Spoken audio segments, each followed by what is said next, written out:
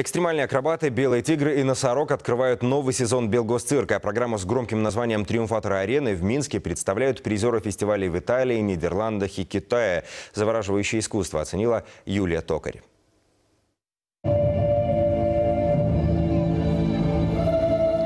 На арене триумфаторы, воздушные гимнасты, акробаты, иллюзионисты, клоуны и дебют «Носорога». С первых минут новая программа «Белгосцирка» захватывает и завораживает. Программа, конечно, должна быть сбалансирована и должны быть разно, разножанровые номера представлены, иначе она будет неинтересная.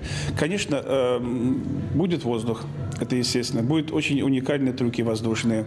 Вот. Будет э, встречные качели, которые у нас очень давно не было под э, управлением Александра Скокова. Это просто фантастическая работа э, этих спортсменов или как это артистов. Здесь нет поддельных эмоций. Удивляются, смеются и восхищаются как дети, так и взрослые.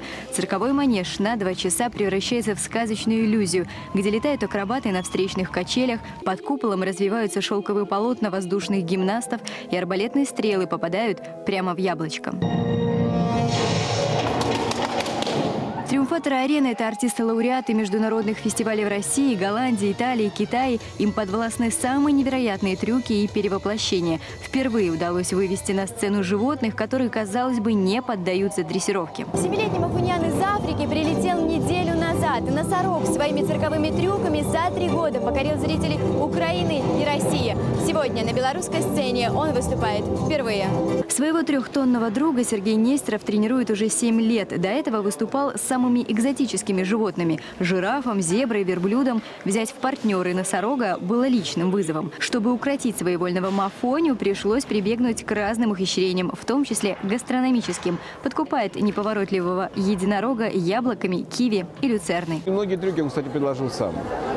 Сам предложил, сам сел, сам лег. Мы просто были рядом постоянно и закрепляли, опять же, тут люцерной, яблоком и всем остальным. На арену вышли еще одни дебютанты белорусского цирка – белые тигры. В шестером большие полосатые кошки грациозно показывают различные трюки и элементы. Этот год был удачный для цирка, потому что в этом году очень много было гастролей у нас.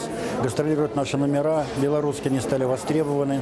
Э, в этом году у нас э, две золотые и медали международных фестивалей престижных, в том числе э, медали в Пхеньяне, например, в Северной Корее. Вот. Появилась очень талантливая молодежь белорусская. Оценить многообразие цирковых жанров триумфального шоу Белгосцирка можно до 14 декабря. Юлия Токари, Александр Берецкий, агентство Теленовостей.